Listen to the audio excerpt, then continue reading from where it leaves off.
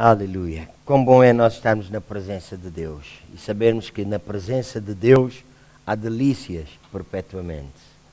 Na presença de Deus nós encontramos a resposta a tudo aquilo que nós necessitamos na nossa vida. Amém. Semana passada nós demos início a um estudo uh, ao qual demos o título de Quatro Chifres. Semana passada, parte 1, e hoje nós vamos ter a parte 2. E eu vou ler o versículo que serviu de base para nós, que diz assim, Zacarias capítulo 1, versículo 17.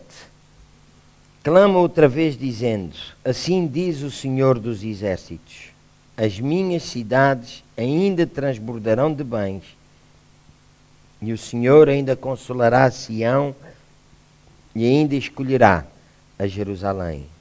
Então levantei os olhos e olhei e vi quatro chifres Perguntei ao anjo que falava comigo: que é isto? E ele me respondeu: Estes são os chifres que dispersam a Judá, a Israel e a Jerusalém.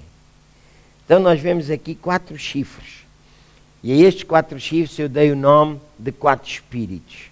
Nós vemos que, isto é apenas numa pequenina introdução, nós vemos que assim que Deus falou prosperidade ou a respeito de prosperidade sobre a sua cidade, sobre o seu povo, estes espíritos se levantaram para dispersar, para afligir, para amedrontar o povo de Deus.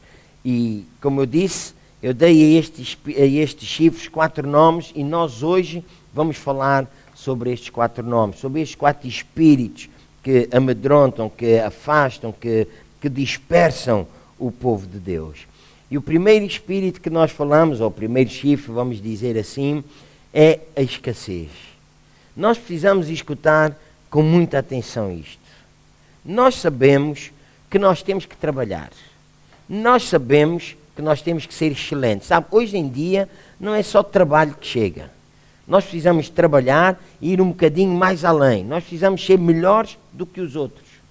Porque a competição é muito grande, a concorrência é muito grande. Então hoje não chega só saber fazer alguma coisa. Hoje nós temos que ser excelentes naquilo que nós estamos a fazer. Nós sabemos isso.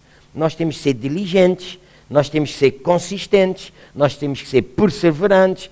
São atitudes que nós temos que ter na nossa vida para nós podermos ser recompensados no nosso trabalho. Se alguém trabalha só por trabalhar, ok, vai trabalhando por trabalhar e vai ter o salário porque tem que ter salário. Mas se alguém é excelente, esse alguém vai ser colocado na presença dos reis. Os melhores, escute com ouvidos de ouvir, os melhores sempre têm oportunidades.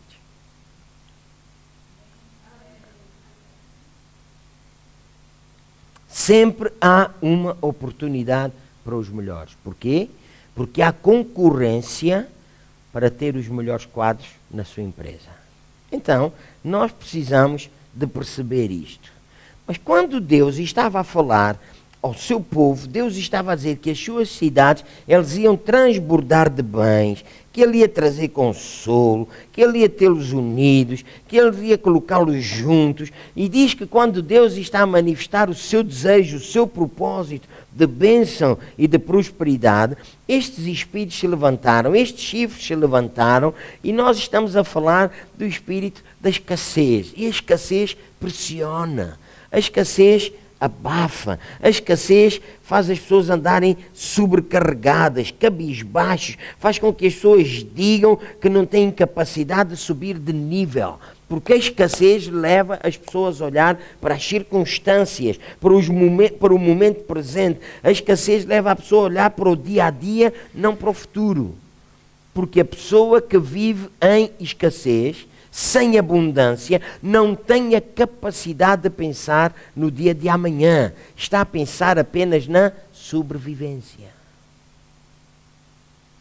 E nós precisamos de ver isto, meus irmãos, que o espírito de escassez às vezes toma conta de famílias, já vem de gerações. As, as gerações lutam, labutam, é avós, pais, filhos, netos, lutam para sobreviver. E eles ficam tão cheios disso que ficam amarrados, ficam geração atrás geração, ficam amarrados por esta escassez, sem ter a capacidade de pensar em alargar a sua influência, sem ter a capacidade de pensar que podem ir mais longe, que podem fazer mais alguma coisa, que podem ser úteis. Porque as pessoas, quando estão em escassez, nem sequer pensam nos outros pensam é naquilo que os outros podem fazer para suprir as suas necessidades.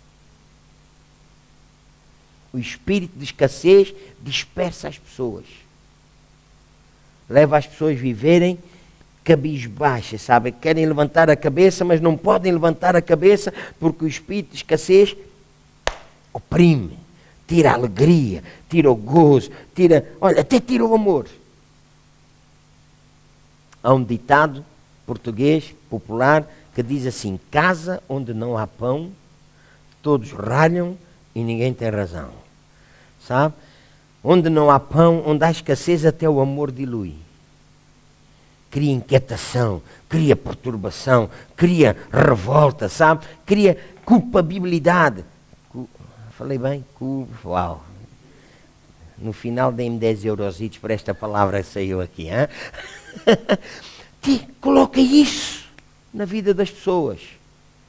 Mas é quando nós olhamos para a palavra de Deus, Deus continua a dizer: As minhas cidades transbordarão de bens. Uau! Nós precisamos de entender a palavra de Deus para nós. Jesus disse: Tomai sobre vós o meu jugo. Uau, eu gosto desta expressão. Todos nós sabemos o que é um jugo, é aquela vamos dizer assim, falar aquela, aquele aparelho que se coloca nos bois quando estão para lavrar a terra e vão um ao lado do outro para quê? Para que um não vá à frente, para que uh, as coisas andem bem. E quando Jesus está a dizer, tomai sobre vós o meu jugo, ele está a dizer-nos, eu estou deste lado, tu estás desse lado e nós vamos caminhar juntos tomai sobre vós o meu jugo. E o meu jugo é manso, o meu jugo é suave, o meu jugo é de bênção, o meu jugo é de prosperidade. Porquê? Porque quando tu estás fraco, eu estou forte. Quando tu estás abatido, uau, eu estou cheio de fortaleza. Quando tu estás doente, eu estou cheio de saúde. Quando tu estás em insuficiência, eu estou cheio de suficiência. Eu sou o Deus mais do que suficiente para suprir todas as tuas necessidades. Tomai sobre vós o meu jugo. Quando nós tomamos o seu jugo, nós andamos lado a lado, nós lavramos a terra juntos. Ouça, e a terra não fica lavrada desta maneira, ela anda em perfeição, porque Ele é o Senhor da perfeição. Foi Ele que decretou a bênção e a prosperidade sobre a nossa vida. Então, quando nós tomamos o seu jugo, há um grito no nosso coração em que nós começamos a declarar aquilo que Jesus declarou: nada é impossível para Deus, nada é impossível para vós. Nós começamos a declarar no nosso homem interior que a escassez desaparece. Ouça, a escassez desaparece, a insuficiência desaparece, porque Ele é o nosso pastor e nada nos faltará. Aleluia. Aleluia. Nada nos faltará. E eu gosto de pensar naquilo que o apóstolo Paulo escreve lá em 1 Coríntios, no capítulo 13. Ele diz: Tudo é vosso. Voz de Cristo e Cristo de Deus. Diga lá comigo: Tudo é meu. Diga mais uma vez: Tudo é meu. Será que o irmão tem convicção disso? Tudo é meu. Se tudo é meu, não há escassez aqui. Por quê? Porque tudo que é meu veio de Cristo. E Cristo veio de Deus. Então tudo é nosso. A escassez desaparece e começa a dar lugar ao poder do Altíssimo na nossa vida. Nós já falámos há um tempo atrás sobre o Altíssimo, o dono de todas as coisas, o possuidor de todas as coisas. Deus é o dono de todas as coisas.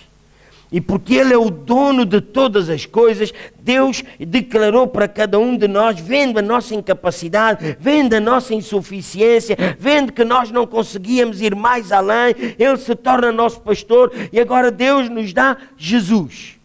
E aquele que nem mesmo a seu próprio filho poupou, antes o entregou por todos nós, como é que não nos dará também com Ele todas as coisas? E ouça, isto não é só uma mensagem para nós ouvirmos e para fazer bem ao nosso coração e dizer fomos à igreja e ouvimos uma mensagem de capacidade, de que nós temos tudo, mas sabes, eu continuo com as calças na mão. Não, é para nós vivermos. O espírito de escassez levanta-se para nos amedrontar, para nos espezinhar, ouça, para nos dispersar, para fazer perder o nosso foco. Nós não conseguimos ver mais além, mas o Espírito de Deus se levanta para dizer: tudo é vosso. Haverá alguma coisa impossível para Deus? É pergunta. Haverá alguma coisa impossível para Deus? Se nada é impossível para Deus, significa que todas as coisas são possíveis para Ele. E eu vou declarar: é mais do que possível para Deus abençoar a nossa vida e vencer e derrotar o espírito da escassez. Esse chifre se levantou para dispersar o povo de Deus. E o povo de Deus dispersa-se em muitas coisas. Eu sei que hoje há irmãos aqui que não estão aqui por causa do seu trabalho. Eu sei que há irmãos que não estão aqui hoje porque têm que trabalhar ao domingo. Então deixe-me dizer uma coisa. Por que é que um filho de Deus terá que trabalhar ao domingo?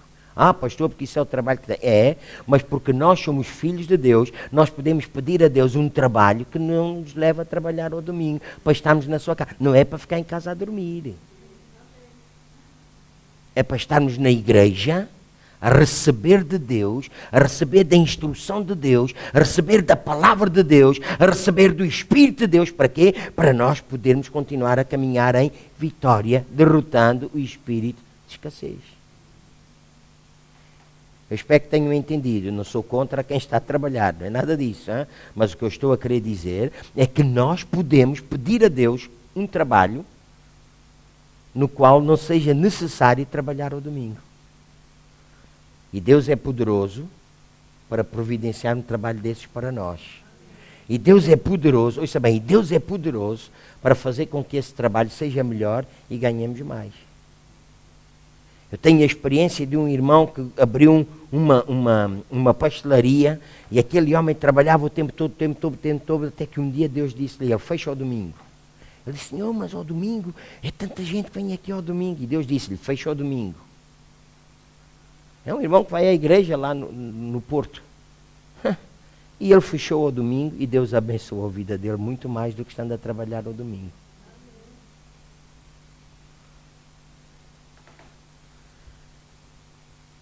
Quero encorajar esta igreja a receber o Espírito de Deus e quando nós recebemos o Espírito de Deus, nós deixamos de estar a olhar para o momento presente. Os irmãos sabem que o espírito de escassez, que muitas vezes assola a comunidade cristã, assola os filhos de Deus, leva-os a perder o foco do futuro, leva-os a perder o alcance, leva-os a perder a vontade de Deus. Deus diz para crescer, multiplicar e encher a terra. Deus tem trazido uma visão a esta igreja para nós entrarmos na televisão. Isto já lá vão dois anos. E ao fim de dois anos nós temos programas, nós temos gravações, mas ainda não entramos na televisão. Sabe o que se chama isso? Escassez. E como pastor, eu quero decretar aqui nesta manhã que a escassez acabou na vida desta comunidade. Eu não estou a falar comunidade, igreja, instituição. É desta comunidade. É deste povo. A escassez acabou.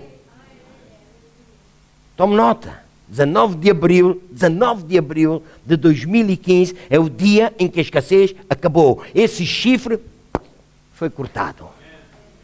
E o Espírito do Senhor se levantou. Para quê? Para dizer: o meu povo é próspero, o meu povo é abençoado, o meu povo não vive envergonhado, o meu povo vive em abundância, o meu povo tem fartura. Por quê? Porque o povo deixa de olhar para aquilo que tem, mas começa a olhar para quem tem. José foi vendido pelos seus irmãos. E a primeira coisa que ele perdeu foi a capa de menino bonito. Todos os irmãos tinham uma capa, mas a capa de José era a capa do menino bonito, do menino preferido. E José perdeu aquela capa. E quando ele perde a capa do menino bonito, a roupa que lhe puseram foi a roupa do escravo. E os irmãos com certeza sabem como é que era o escravo. Não tinham roupa, tinha uma tanguinha que tapava um bocadinho à frente e um bocadinho atrás, e lá estava José no mercado de escravos. Perdeu o nome, perdeu o nome de família, perdeu a nacionalidade, perdeu a vontade, perdeu tudo. Não tinha nada. E ele estava no mercado de escravos para ser vendido, e a Bíblia diz: José era próspero. Uau! Uau! Porque é que ele era próspero naquela situação? Ele tinha perdido tudo, mas era próspero. Ele não tinha bens, mas ele sabia quem tinha na sua vida. O Senhor era com ele. Diga lá comigo: o Senhor era com ele. Uau! Logo mais ele deixou de ter a roupa de escravo e passou a ter uma roupa um bocadinho melhor, de prisioneiro, às riscas. É por isso que eu não gosto de riscas. Nem assim, nem assim. Os irmãos brasileiros, se calhar, não percebem, mas eu vou dizer: assim é do Sporting, assim é do Porto. Cores lisas, como o vermelho, por exemplo.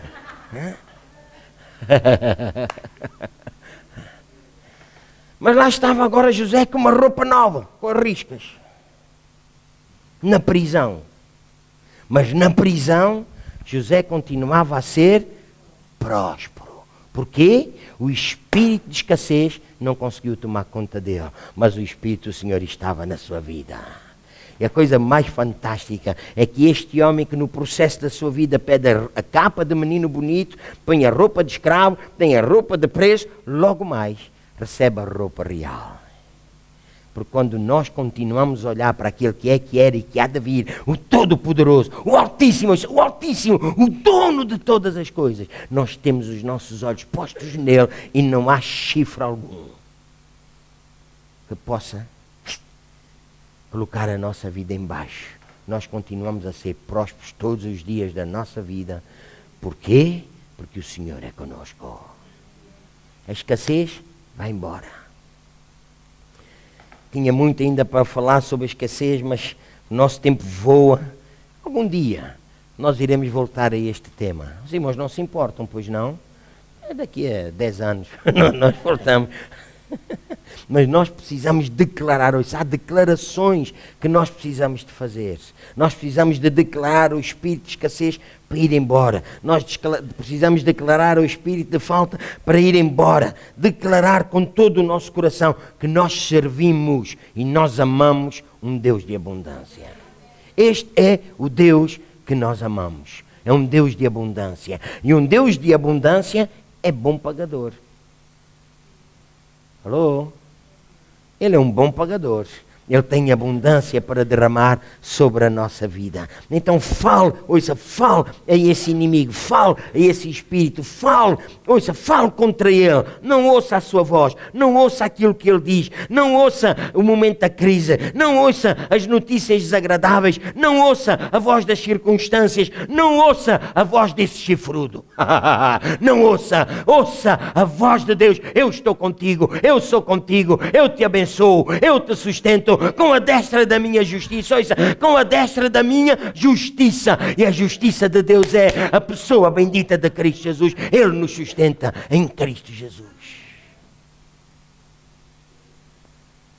Ah, pastor Paulo, mas sabe a vida? Eu sei, eu sei, eu sei, eu sei. Eu sei tanto da vida quanto os irmãos. Eu sei. Mas há uma voz que eu conheço também fala muito mais alto que a voz das circunstâncias da vida. É a voz do Senhor nosso Deus que diz: Levanta-te e brilha, porque a glória do Senhor resplandece em ti. Ah! E quando nós lemos todo esse capítulo lá do profeta Isaías, levanta-te e brilha, porque a glória do Senhor já resplandece em ti, começa a descrever que as riquezas das nações, o ouro das nações, vêm ter conosco dia e noite. Diga lá comigo, dia e noite. E ouça, isto não é utopia, isto é para nós vivermos nos nossos dias. Nós somos o seu povo.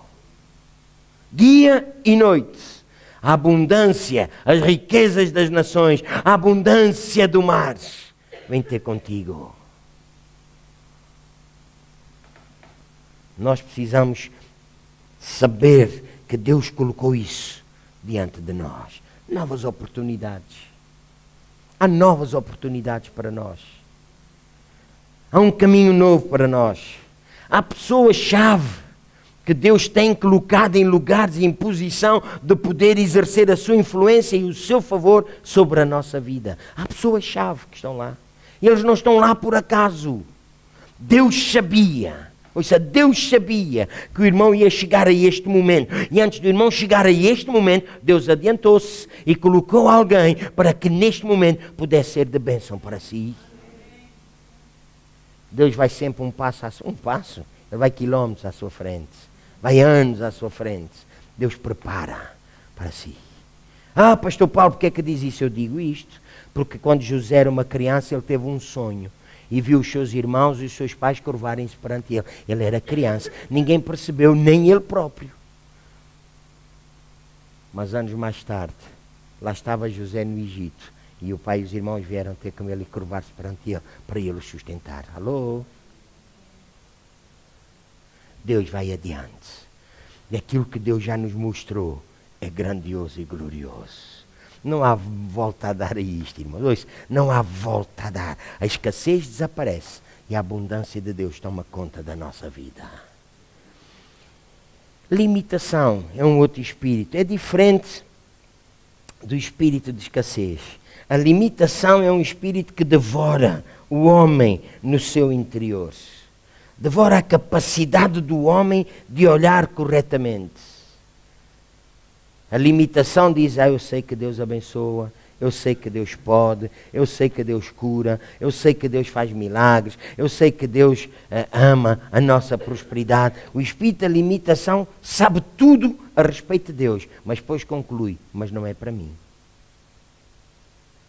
Eu não consigo chegar lá. Eu tenho muitos obstáculos para chegar lá. E a pessoa começa a ficar centrada em si mesmo. Sabe? A pessoa fica centrada em si mesmo. A olhar para si, a olhar para as suas capacidades. Muitas vezes chega à conclusão de que é uma pessoa insignificante. Disparate. Disparate. Você é insignificante e Deus enviou Jesus para morrer em seu lugar?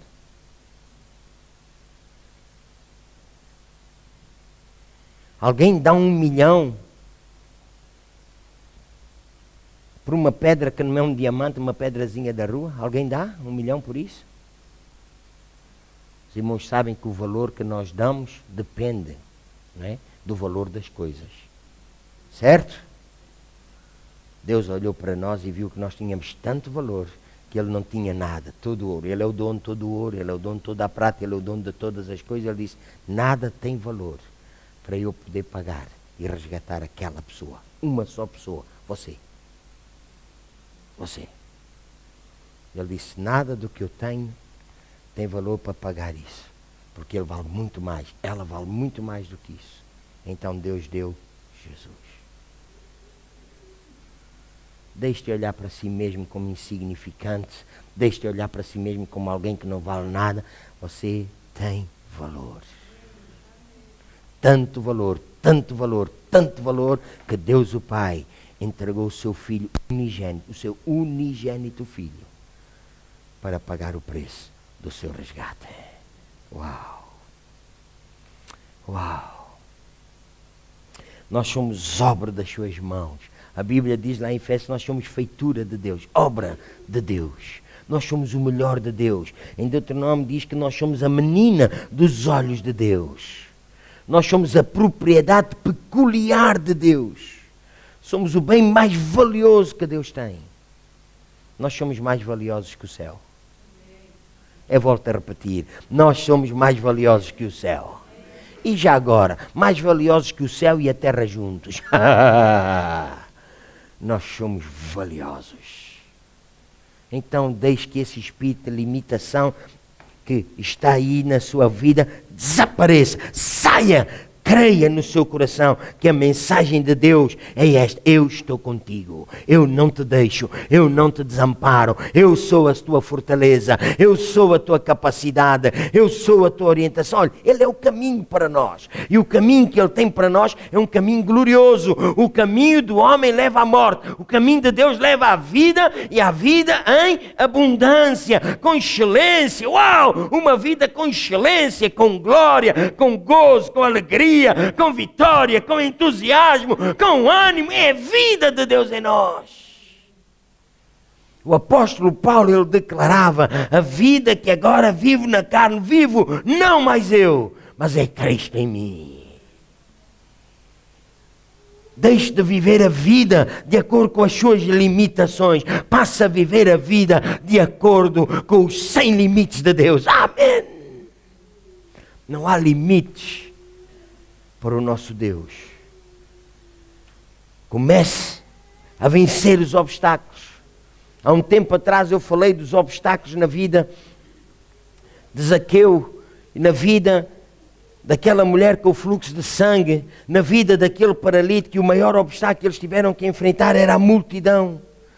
Ouça, deixe que esses obstáculos que a multidão, a crise, os conselhos, o que as pessoas dizem, aquilo que dizem que não pode ser feito, olha, só o facto de alguém dizer, aliás, não é só o facto, só pelo facto de alguém dizer que algo não pode ser feito, não significa que não possa.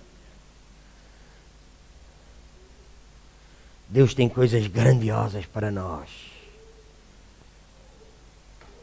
Seja instrumento nas mãos de Deus. Ouça a voz de Deus. Josué ele estava a olhar para si, estava a ser rodeado por este espírito de incapacidade. Era um chifre que estava ali. Moisés morreu, Moisés morreu, Moisés morreu. Mas agora Deus diz para Josué: Josué, Moisés morreu, mas agora tu, levanta-te, eu estou contigo. E assim como eu fui com Moisés, eu serei contigo todos os dias da tua vida. Nenhum inimigo se assustará diante de ti. Uau!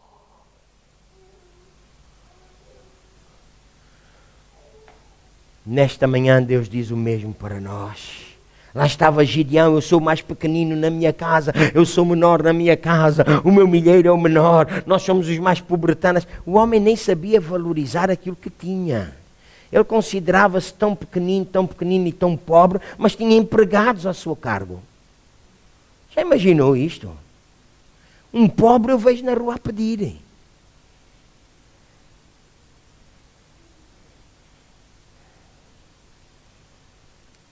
Gideão tinha empregados, tinha servos, tinha gado. Só que o homem tinha este espírito de limitação na sua vida. Mas Deus abanou esse espírito o Senhor é contigo, varão valoroso. Mensagem de Deus para nós nesta manhã é: o Senhor é contigo, varão, varoa, valorosos. O Senhor é contigo. Diga lá: o Senhor é comigo. Diga mais uma vez: o Senhor é comigo. Diga mais uma vez ainda: o Senhor é comigo. E porque Ele é conosco, meus irmãos, nada nos é impossível. Porque nós não estamos na nossa força, nós estamos na força daquele que nos fortalece um outro espírito, um espírito de resistência. Há um espírito que se levanta, é um chifre que se levanta para resistir. Estamos determinados a fazer as coisas. Nós vencemos já a, a, insuficiência, já vencemos as limitações e agora nós queremos fazer aquilo que agrada a Deus. Nós levantamos para fazer aquilo que Deus já falou ao nosso coração e há um espírito de resistência. E deixe-me dizer: o espírito de resistência mais forte não é aquele que vem das pessoas que nós não conhecemos, é aquele que vem das pessoas que estão ao nosso lado. Davi e o seu exército Podiam ter destruído Saul. Podiam ter dado cabo de Saul, não o fizeram. Davi soube esperar o tempo de Deus. E agora, quando Davi ia para a cidade, Simei, companheiro e amigo de Absalão, filho de Davi, causaram resistência a Davi. Diz-nos a Bíblia, os irmãos podem ler isto em 2 Samuel 16. Diz a Bíblia que ele se levantava, ele proferia maldições, ele falava contra o rei, ele lançava pedras, ele levantava poeira, de tal forma que quando Davi e o seu exército chegaram à cidade estavam cansados. Porque Absalão, seu filho, queria tomar o trono. Depois de nós vencermos a insuficiência, a incapacidade, a escassez, depois vencemos tudo isso e nos determinamos a fazer alguma coisa em prol de Deus, segundo a vontade de Deus, há algumas pessoas que se levantam para querer tomar o nosso lugar. São os chamados, não fazem nem deixam fazer. Não conhece alguns? Quando esses alguns se levantarem diante de si, chame-lhe. Como é que tu te chamas? Ele diz: Não, não, não, não, não. Tu és o não faz nem deixas fazer enfrente-o, ponha-lhe o dedo no nariz. Enquanto você esteve sem fazer nada, ninguém o incomodou. Agora que se levanta para fazer alguma coisa, não faltam vozes para o destruir, para o desanimar, para o desencorajar. É um espírito de resistência. Se levanta, é como um boxe. A pessoa está ali no saco antes de irem para a luta, eles estão lá no saco, a bater no saco, a bater no saco, e ali estão, eles, coitado do saco, coitado, entre aspas, do saco, que leva soco, atrás soco, soco, e nem se defende. Algumas vezes as pessoas se levantam com este espírito nas suas vidas de resistência para combater a nossa vida, para combater a nossa vida, e nós parecemos esse saco de boxe. Hoje é dia de se levantar para dizer: Deus está à procura de homens fiéis, e eu sou esse homem e a fidelidade a Deus é recompensada. A, a fidelidade de Deus é recompensada. Diga comigo: o homem fiel abundará em bênçãos. Não, não, mas diga isso com convicção. O homem fiel abundará, ou na minha tradução diz assim: será acumulado de benefícios. O homem fiel, os benefícios vêm e venham, e venham, e venham. O homem fiel não anda atrás dos benefícios, são os benefícios que venham, que venham, que venham à sua vida. Portanto, quando o irmão está a fazer a vontade de Deus e já venceu os outros espíritos, o espírito da resistência e se levanta, comece a declarar-se. Comece a declarar-se que a abundância de Deus está na sua vida. Olhe, não ande atrás de dinheiro faça o dinheiro andar atrás de si. Eu vou repetir. Não ande atrás do dinheiro. Faça com que o dinheiro venha atrás de si. Há um tempo atrás eu recebi um e-mail que alegrou muito a minha vida. Abençoou muito o meu coração. Eu recebi um e-mail e aquele e-mail dizia assim: Obrigado pela oportunidade que tu me das de poder plantar estas sementes na tua vida. Uau! Uau! Eu podia contar a história desse homem. Uhum. Eu podia contar. É um homem que tinha os seus negócios e ele começou a semear na minha vida e hoje tem uma posição de proeminência no governo de Angola. É Ele que determina, eu não vou dizer mais pormenores, mas é Ele que determina aquilo que os outros podem ou não podem fazer em determinado sector da economia daquele país. E ele escreveu aquele e-mail para mim: Obrigado pela oportunidade que tu me dás de poder plantar na tua vida. Uau! Sabe o que é isso?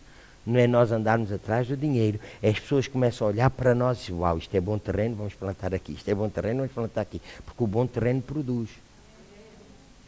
Os irmãos sabem que nós podemos ter boa semente e plantar boa semente em mau terreno não dá produção? Sabiam isso? Porquê? Porque a semente vai extrair o melhor que há no terreno. Alô? Seja terreno bom, fértil na vida de alguém. Não anda atrás do dinheiro ponha o dinheiro atrás de si. Vença, ouça, vença o espírito de resistência. Seja fiel, seja fiel. O irmão vai ver que a vontade de Deus é estabelecida na sua vida. Devorador, o outro chifre. É um espírito que se levanta para devorar a vida do cristão. Nós amamos a Deus, nós servimos a Deus, nós glorificamos a Deus, nós somos fiéis a Deus, nós até temos eh, as nossas necessidades supridas, mas de repente de repente, há coisas que acontecem que nós não temos explicação. Na mesma semana é um 50 furos no carro, na mesma semana é alguém que nos risca o carro e nós não sabemos quem é, na mesma semana é a máquina de, que se estraga, na mesma semana foi o exaustor que avariou, na mesma semana é o aspirador que foi à viola. Sabe o que é isso? É o devorador. A querer roubar a bênção de Deus na nossa vida. Esteja alerta. Quando esse espírito se levanta contra si, reclame os seus direitos. Ouça com ouvidos de ouvir. Quando esse espírito se levanta contra si, reclame os seus direitos. Sabe uma coisa? Satanás, quando foi à presença de Deus, Deus olhou para Satanás e Deus disse assim a Satanás: De onde é que tu vens? E o diabo disse: Eu venho de rodear a terra. E Deus disse assim: Olha, e tu viste lá o meu servo Jó? Homem justo, homem que me teme, um homem bom, um homem valente. Olha, um homem abençoado. Sabe o que é que o diabo disse? Então, faz alguma coisa demais. Foste tu que o abençoaste. Foste tu que lhe deste toda essa riqueza. Sabe uma coisa? Até o diabo sabe que a riqueza vem de Deus. então não seja pior que o diabo. Não fique a pensar que a riqueza vem à sua vida como resultado do seu trabalho.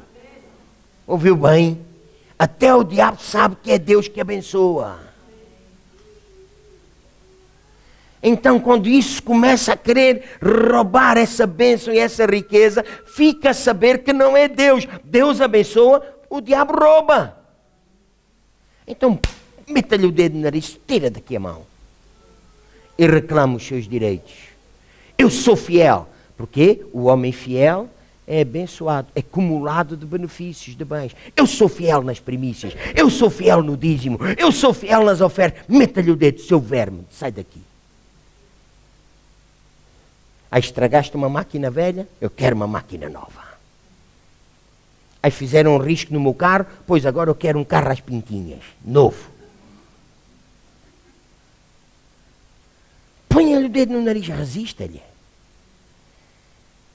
E sujeite-se a Deus, resista ao diabo, e o diabo fugirá de si. Aleluia! Aleluia! Aleluia! Vença estes chifres que se levantaram para afetar a sua vida. Como é que nós podemos vencer? E vou concluir com este pensamento. Nós podemos vencer seguindo a instrução do Senhor nosso Deus. Na luta, nós não estamos sozinhos.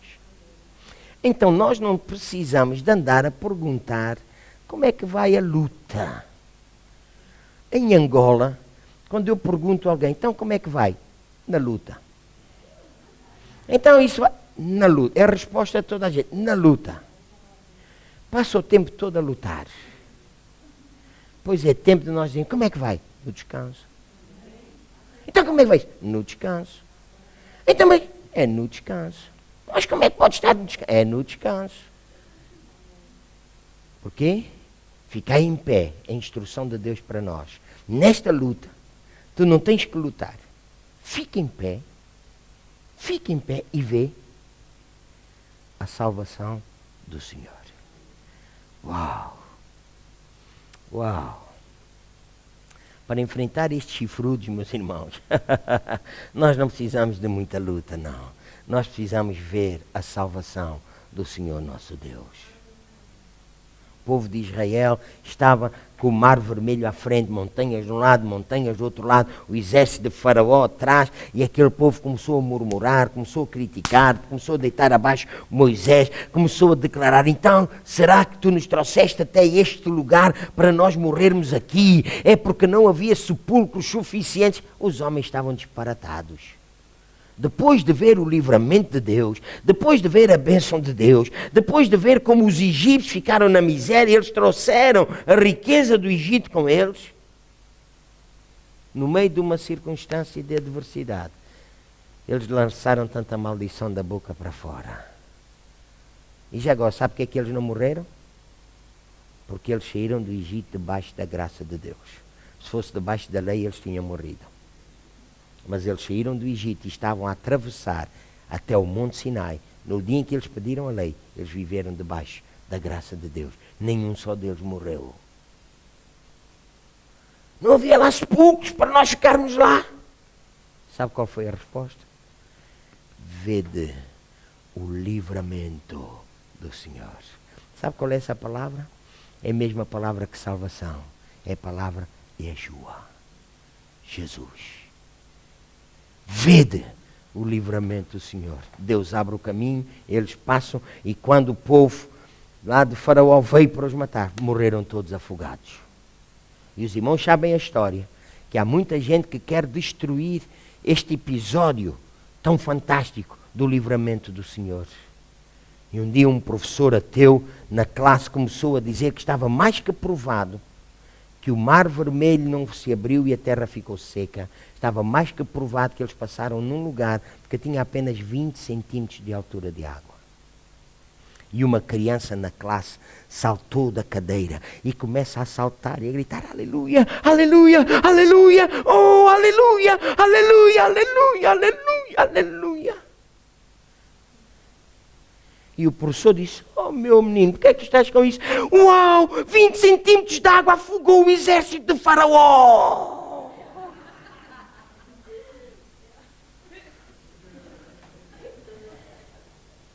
abençoada criança.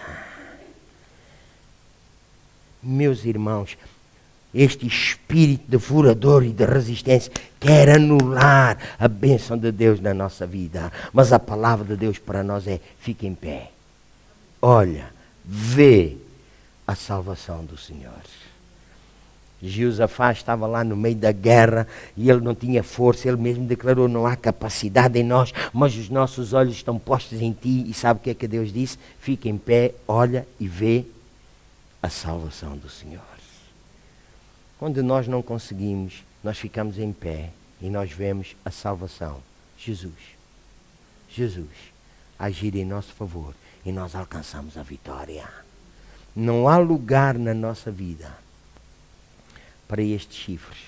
Não há lugar na nossa vida para a escassez, não há lugar para a nossa vida para a limitação, não há lugar para a nossa vida para a resistência, não há lugar na nossa vida para o devorador. Nós somos os eleitos de Deus, os escolhidos de Deus, e a cada dia nós vemos a salvação do Senhor. Ele é, Ele é o nosso Deus.